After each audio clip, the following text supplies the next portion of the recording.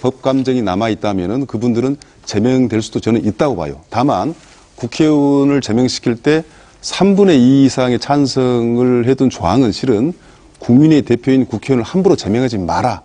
라는 그런 조항이기 때문에 제명이 되기는 힘들 겁니다. 그래서 저는 이제 이런 생각이 들어요.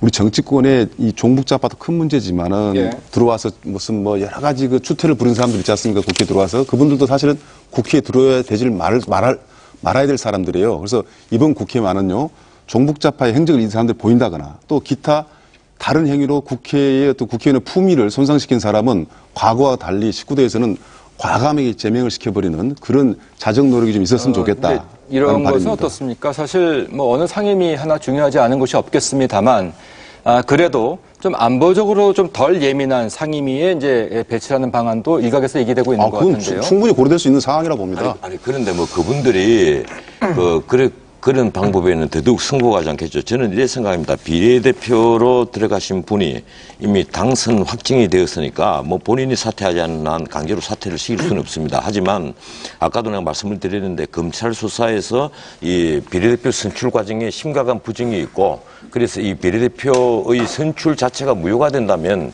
그것은 후보자 자격 박탈이 되고 후보로서는 당연히 사퇴를 해야 됩니다. 또 별건으로 만약에 거기 부정에 직접 개입이 됐다면 그건 형사처벌을 받아서 또 예. 국회의원이 자격이 박탈될 수도 있겠죠. 그리고 지금 저는 굉장히 심각하게 보는 게 작년 그 7월 달에 그 왕재산 사건이 터지지 않습니까? 이 왕재산 사건이 바로 북한의 225국이죠. 북한 노동당의 그 대외 연락부인데 거기서 내린 지령이 그런 것들입니다. 예, 근데 민주노동당이 그 합당을 할 때는 국민참여당하고 먼저 해라. 그런데 거기 나온 지령들 쭉 보면 대부분 그렇게 흘러왔어요. 우리 그 소위 진보 세력이라고 스스로 부르는 좌파 세력들이 어떻게 통합을 이루느냐. 225국에서 내려온 지령대로 그대로 그 결과가 같았다는 겁니다. 지금 그래서 제도적인 개선을 예. 얘기하고 있습니다. 저는 이 문제 국회에 이분들이 들어간다면 드러나게 중복 활동하겠습니까? 그렇지는 않죠. 이 간첩이 나는 간첩이라고 서붙이고 다닙니까? 그렇지 않습니다. 예, 근데 국회 외무위나 국방위에는 국방위에는 이 국가의 일급 기밀들이 흘러넘칩니다. 그리고 본인이 만약에 문서 제출 뭐 요구를 해서 얼마든지 일급 기밀을 취득할 수도 있습니다. 그래서 이 문제는 국회 차원에서 최소한 한 번 더 저는 논의가 있어야 된다고 보고 만약에 이 검찰에서 그 기소를 한다면 불구속 기소라도 한다면 그 자체로 그 의원 자격을 정지시키는 그것은 뭐 세법이 가능하겠죠. 뭐 국회법 개정으로 충분히 가능하지 않겠습니까? 저는 그건 가능하다고 판단합니다.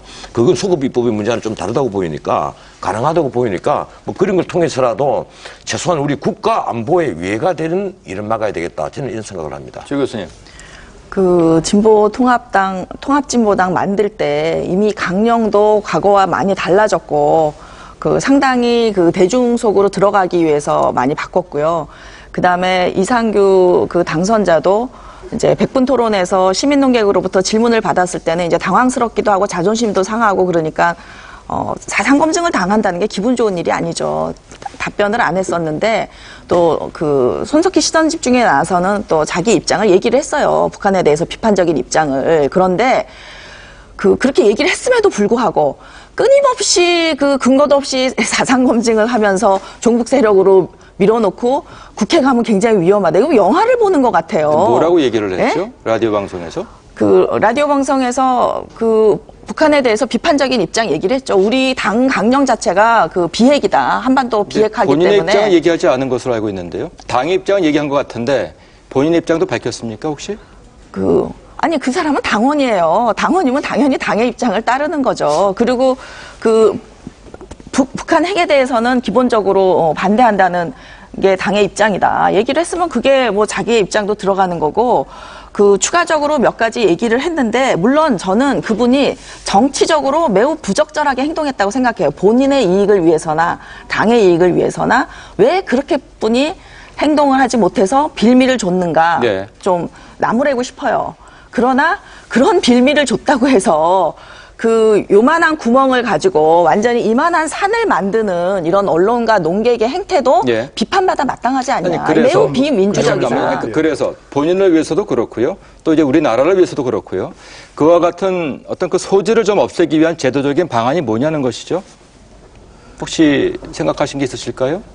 우선 저는